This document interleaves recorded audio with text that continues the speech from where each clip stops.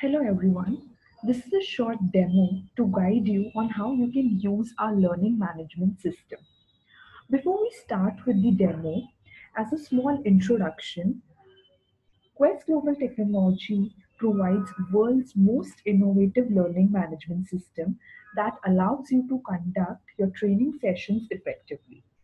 Okay, so let's have a small demo of how you can use our e-learning platform or our learning management system. The current screen that you can see on my screen is basically the front end of the website that is the website. That is the front page of the website. Okay now to access the e-learning portal you simply have to go on this login tab. Okay so i'll log in from my uh, details. So let's say these are my e-learning details. I'll enter my email and password and I'll click on the sign in button. Now, once I've successfully signed in, I'll see a user icon on top. Okay, if you'll bring your mouse cursor on this user icon, you may notice that this was basically the email address with which you have logged in. And here's an option of My Dashboard.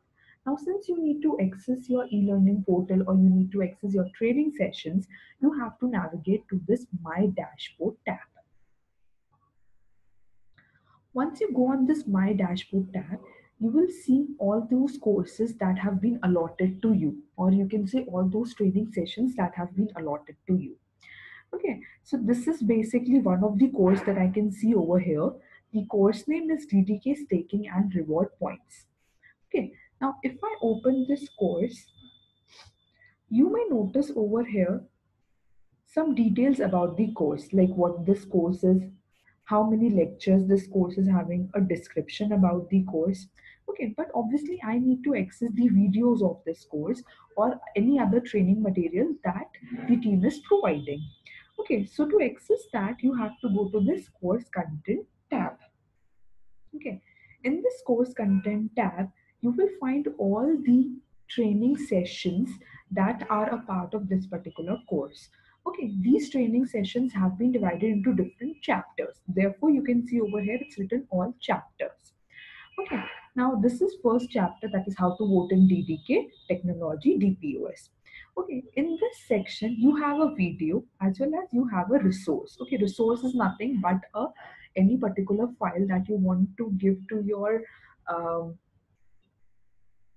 that you want to give to your students so that they can know something about the session or any other thing. Okay, like it can be in PDF format, it can be an image file, it can be in doc format, it can be PPT format, any format. Okay, here you have a video. Like over here, we are having a video of introduction to Lisk. So if you click on this video, the video will come up, whatever you have posted from the admin panel that we'll be providing you. Okay, in this way, the users can watch the video. If they want to navigate from one video to another, they can even do it from the side panel. Okay, they even have the details over here of the second chapter and second video. Okay. Now, not only the video, but you can even attach any other resource like we discussed, like I said before. Okay, like I have attached a PDF file over here. So users can even view this PDF file and they can even download it on their personal computers for future reference. Okay, so in this way, you can see all your courses. Let's say if the course list is too long and someone wants to search it, they can easily search it with the search bar over here. The chapter come over here and let's say if they only want to filter the resources that is they only want the documents that have been uploaded by you so they can simply do it by going on all resource. So they will find the resources sorted by chapter.